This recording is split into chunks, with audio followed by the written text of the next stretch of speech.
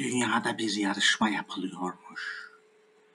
Yarışmaya İngiliz, Fransız ve Türk katılmışlar. Bir odanın içinde ütülenecek bir gömlek ve çıplak bir kadın varmış. Yarışmacılar 5 dakika içinde hem gömleği ütüleyecekler hem de yataktaki çıplak kadını sikeceklermiş.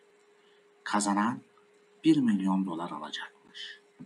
Önce İngiliz girmiş. Gömleği ütülemeye başlamış. Bitince tam karıya saldırmış, vakit dolmuş, zil çalmış.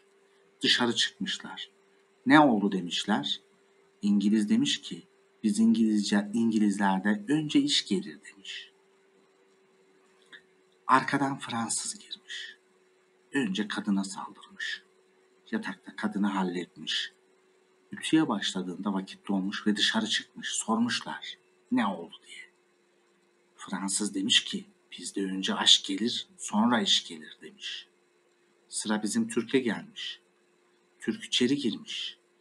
Kadını yataktan kaldırmış. Ütü masasının önüne getirmiş ve gömleği vermiş. Eline ütületmeye başlamış. Sonra kadının arkasına geçmiş başlamış kadını sikmeye.